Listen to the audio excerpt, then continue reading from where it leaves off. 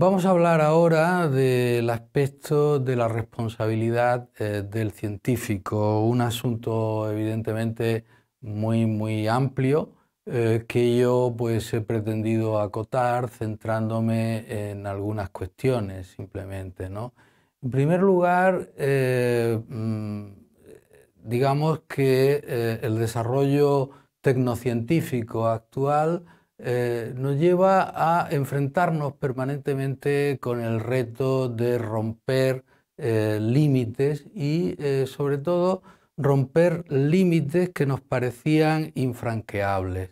Por ejemplo, hoy en día ya se está hablando de biohacking, ¿verdad? Se está hablando con este término tan interesante, tan ilustrativo, de cómo eh, de la misma manera que hay hackers que eh, piratean un programa informático y que lo adaptan a sus eh, necesidades, pues también podemos hacer lo mismo con nuestro ADN, con nuestro ADN o con el ADN de plantas, de animales, etc. No olvidemos esto. no se trata solo de asuntos que afecten al ser humano, que ya sería desde luego asuntos muy, muy relevantes, sino que afectan en general a todos los seres vivos. ¿no?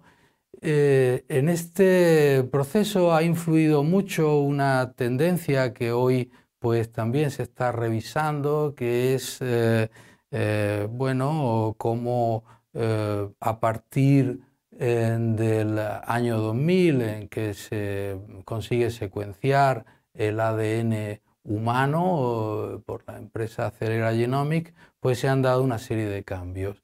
O sea, para secuenciar el ADN humano, esta empresa gastó unos 3.000 millones de dólares.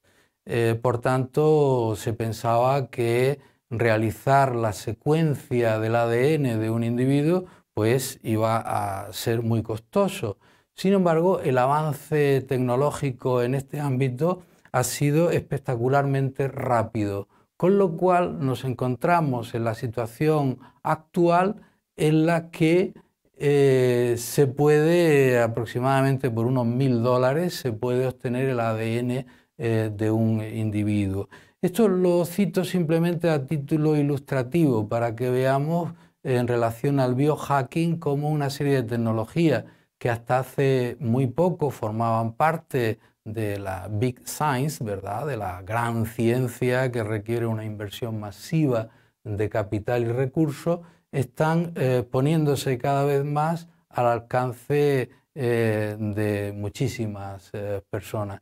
Esto genera una serie de problemas nuevos y desde luego teníamos unos problemas derivados de la gran ciencia, de, bueno, en primer lugar, el, propio diseño de los procesos experimentales, los resultados que se buscaban eh, con ellos, eh, la utilización luego de los resultados, los beneficios derivados de los resultados, a quién llegan, cómo, etcétera, ¿verdad? Pues ahora nos enfrentamos con otra serie eh, de problemas que de alguna manera eh, nos dan un panorama cada vez más complejo. Ahora, eh, romper eh, los límites del conocimiento, romper los límites de la naturaleza, parece que está al alcance de un gran número de investigadores. Por otro lado, pues también habría que tratar otros asuntos en relación a la responsabilidad eh, del eh, científico con respecto a los resultados eh, de su investigación. Y mm, estos asuntos tienen que ver con la justicia que finalmente debería presidir todo el proceso y que no es así. Y entonces vemos como, por ejemplo, pues, medicamentos como el que se utiliza para combatir la hepatitis C, no están al alcance de la mayoría de los eh, enfermos aquejados por esta eh, enfermedad tan grave.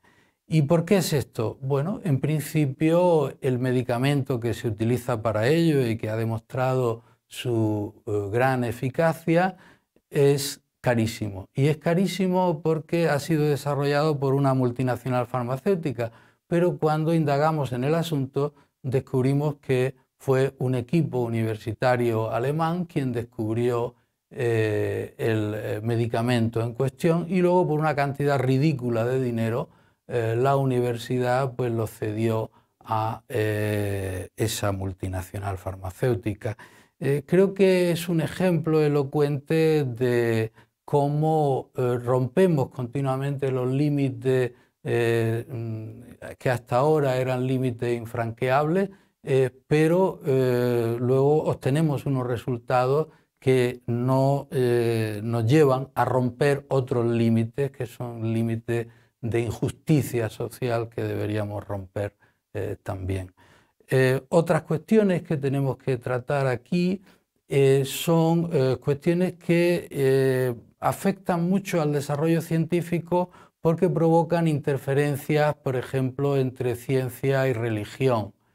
Eh, hay una determinada visión religiosa de la vida, de la naturaleza, del ser humano y eh, mm, parece que eh, hay una verdadera obsesión en la religión por vigilar lo que hacen los científicos y la mayor parte de las veces por condenar lo que hacen los científicos como si fueran acciones que van en contra eh, de la voluntad de Dios, eh, etcétera, etcétera.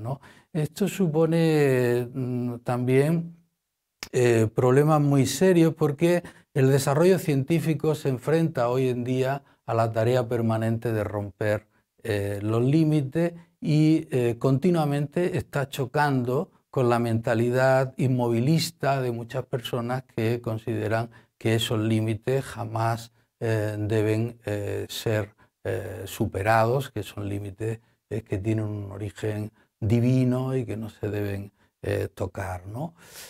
sin llegar a estos aspectos religiosos, sí hay cuestiones que nos tenemos que plantear. Y una cuestión básica es si todo lo que puede hacerse debe hacerse. Tenemos un poder enorme, la tecnociencia actual tiene un poder enorme, podemos hacer muchísimas cosas, pero realmente todo lo que podemos hacer, debemos hacerlo. Ese es el gran problema y necesitamos para ello unas directrices éticas en las que eh, pretendo abundar eh, ahora. Eh, mm, volviendo al siglo XIX, momento en el cual se empieza a utilizar la ciencia y la tecnología en conjunto y con unos resultados espectaculares, vemos cómo en, esta época eh, se desarrolla un gran interés, una gran curiosidad científica por todo aquello que tenga que ver con lo extraño, incluso con lo monstruoso. Hay una fascinación por lo, monstruoso, por ejemplo, eh, las colecciones de embriones, de eh, animales y de seres humanos eh, con deformidades, pues se convierten en los museos de historia natural en, digamos, pues en uno de los campos más, digamos, a los que más atención se le presta. Hay una fascinación por esto. Lo que me inquieta es que un cambio radical que en este sentido se da en el siglo XX es que esa fascinación por lo monstruoso ha llevado muchas veces a producirlo, a producir lo monstruoso.